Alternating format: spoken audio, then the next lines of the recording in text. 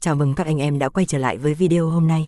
Để chào mừng bộ mặt mới của X Studio, đội ngũ phát triển kênh sẽ gửi tặng tới các anh em một số món quà hấp dẫn là mã giảm giá trực tiếp sản phẩm hot đang có mặt trên nhà kho X, giảm tới hàng triệu đồng, máy tính siêu nhỏ gọn mini PC chơi game ngon tích hợp bàn phím của HP giá chỉ từ 2 đến 3 triệu đồng đúng sự kiện sẽ chúc anh em vui vẻ.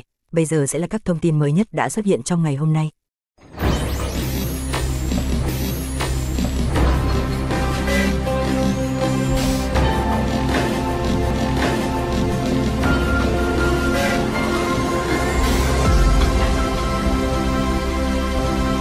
Chào mừng anh em đã quay trở lại và trong video đầu tuần này, chúng ta sẽ đến với một con hàng máy tính bảng giá rẻ hiệu năng ngon lành mà mình tin là nhiều anh em sẽ chú ý bởi trong tầm giá của máy mới.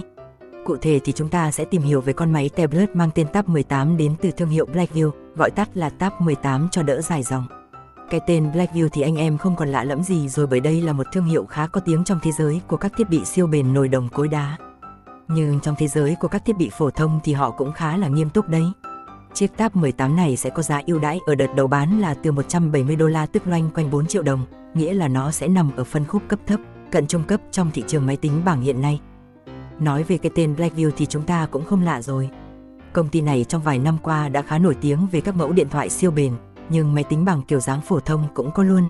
Ví dụ như họ từng có một số mẫu máy đáng chú ý cách đây không lâu đã từng lên sóng kênh này chẳng hạn.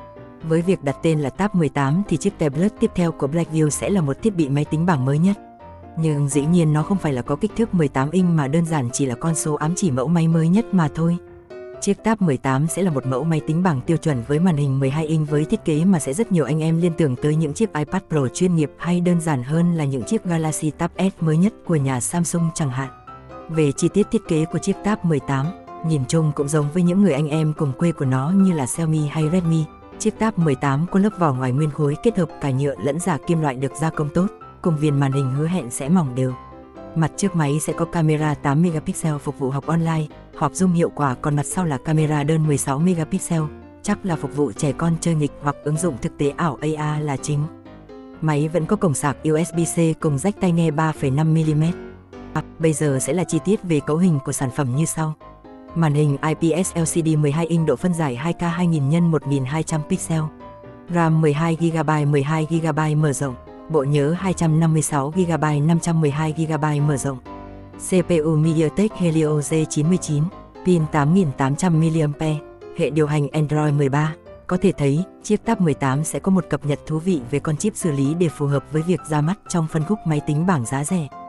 Con Helio G99 được biết đến là một trong những con chip 4G cuối cùng cho hiệu năng chơi game thuộc hàng tốt nhất và cũng là một con chip được khá nhiều hãng sử dụng trong tầm giá loanh quanh 3 đến 5 triệu đồng của máy tính bảng hiện nay. Nhắc lại cho anh em thì con chip này được sản xuất trên tiến trình 6 nanomet, kiến trúc 8 nhân xử lý, gồm 2 nhân hiệu năng cao Cortex A76 2GHz kết hợp 6 nhân tiết kiệm điện Cortex A55 2GHz. Cách bố trí kiến trúc như này khá tương đồng với con chip Snapdragon 680 hoặc 695 giờ của Qualcomm và bây giờ nó đã được phổ cập xuống dòng tablet giá rẻ là đã rất ngon lành rồi. Trong khi đó, chip đồ họa của con chip này là Mali G57 với hai nhân xử lý. Hiệu năng của con chip Helio G99 thì anh em có thể tham khảo khá nhiều mẫu điện thoại khoảng 3 đến 4 triệu hiện nay, nhưng nhờ bộ nhớ RAM lớn hơn nhiều. Lên tới tổng cộng 24GB mà khả năng đa nhiệm chắc chắn mượt mà. Nó có thể chơi game khá ổn áp như là Liên minh tốc chiến có thể chạy mượt ở tùy chọn đồ họa cao 60 FPS không bị giật hay drop. Còn với các trò chơi khác có thể chơi ổn định với cài đặt đồ họa thấp như Battleground hay On Music Arena, Genshin Impact đều chơi được khá ổn định. Một điểm ngon nữa là khả năng điều tiết nhiệt độ của máy cũng khá ngon khi mình chơi trong thời gian dài thì máy chỉ ấm lên đôi chút ở mặt lưng. Hoàn toàn không có cảm giác khó chịu, hoặc có thể là thời tiết lạnh thì nó vậy, nhưng nói chung là khá ổn định. Dung lượng pin 8.800 mAh cũng khá lớn trong mặt bằng chung tablet phổ thông, hứa hẹn cho khả năng sống sót lên tới 3 ngày đối với mức làm việc cơ bản hoặc thậm chí còn lớn hơn nữa đối với các anh em thích ăn rẻ hà tiện.